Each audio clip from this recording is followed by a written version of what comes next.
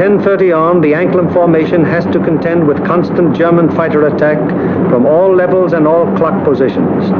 During this time, the gunners aboard the fortresses knock down fighter after fighter. However, the gunnery of the forts, no matter how sensational it may be, is only to ensure the successful performance of the mission. It is not the job or purpose of forts or liberators to seek out action with enemy fighters. They merely defend themselves against enemy fighter attack so that they can destroy their target and bring their crews back safely to their home bases.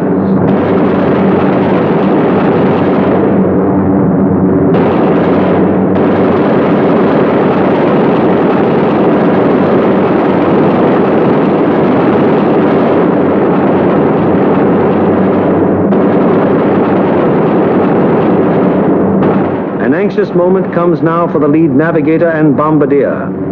The formation is approaching the initial point. That is the point where the wing will turn off and make its bombing run on the target. Upon proper navigation to this point may rest the success of the entire mission. Pilot to left waist gunner. We're over the IP. Release flares. Waist gunner to pilot. Roger.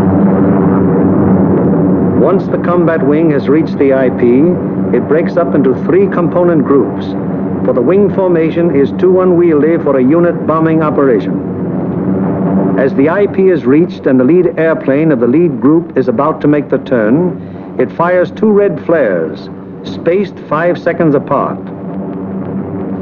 Then the group makes its turn onto the run-up. The low group goes on straight ahead for 20 seconds, then makes its turn. The high group proceeds for 20 seconds beyond the low group's turn, then it turns on to the run-up.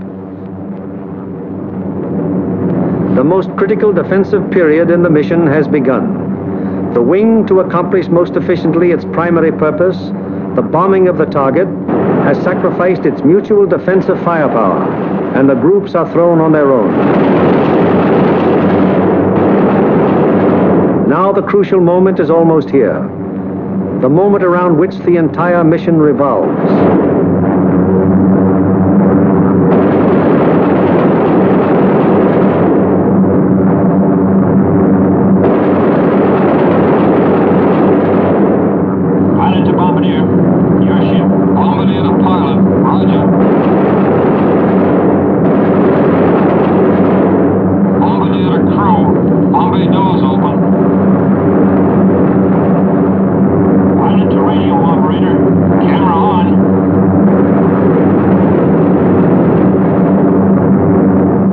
The doors open, the group is committed to its attack.